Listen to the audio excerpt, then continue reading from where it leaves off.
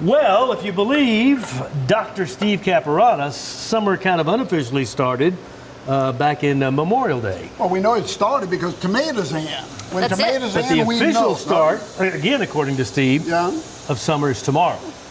Well, yeah, you can believe Steve. I mean, he's, he's pretty good at it. I don't right? ever, ever question Steve But Caparotta. I, I, I look at spring when the tomatoes are ripe, and that's why we're doing this great dish today, this wonderful summer vinaigrette with Creole tomatoes. It's a nice salad, right, Jana? Yes, sir. We're doing a lovely, so- fresh. I'm ready, I'm ready. Yep. So, so John, you know, uh, uh, Not go, yet, go- not just yet. go ahead and throw it in. Everything good, just go ahead. A little bit. This I is got- a really interesting recipe because not only are we putting tomatoes in the salad, but we're making the dressing with tomatoes as well. Gotta have some garlic. A, a little garlic in. a Beautifully sli- thinly nice sliced garlic. Beautiful, nice and thin.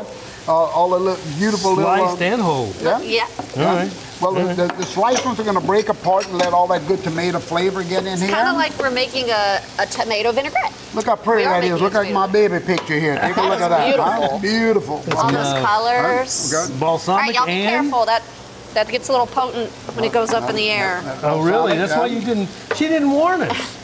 She wants to see my Little, little vinegar hair in there. fly off and in We got something. There you go. Gonna turn that back Get- up? get some And heat, she said just a, a pinch of these pepper Yeah, flakes. you don't want it to be too spicy. All right, Well, there you plus, go. you don't want to overcook the tomatoes either, y'all. The, the ones that's cut in half will start to almost melt into the flavor here, and the whole ones will soften up. now, what up. Herbs gonna did you add there, Johnny? I added uh, thyme and basil. Thank you very much. Thyme, basil, and purple tarragon. onions. Tarragon. Yeah. There you go. And uh, I'm gonna start getting together our fresh fruit and veggie salad here. Okay. So is this going to be a warm salad or a cold salad? well, obviously, it's coming out of a boiling skillet. What do you think? I'll give you one or two choices. Isn't that nice? Well, I'm just, uh, you know. Well, no, I thought maybe this cool. you know what? Yeah, what? let me put this in the refrigerator, y'all. Hold on. You know what? We'll be right back.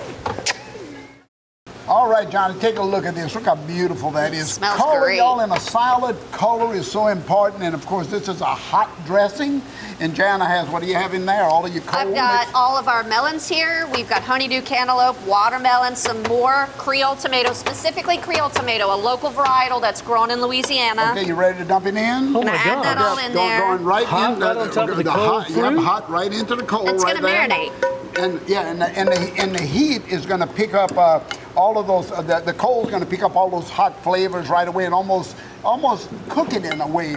And that's uh, that's the idea here. The onions and all over a nice bed of solid mix. Take a look at that. That's what it looks like when it's all said and done. A beautiful dish, easy to make, perfect for the season. Great hot salad, like I said. Uh, we'll see you Thursday. Good.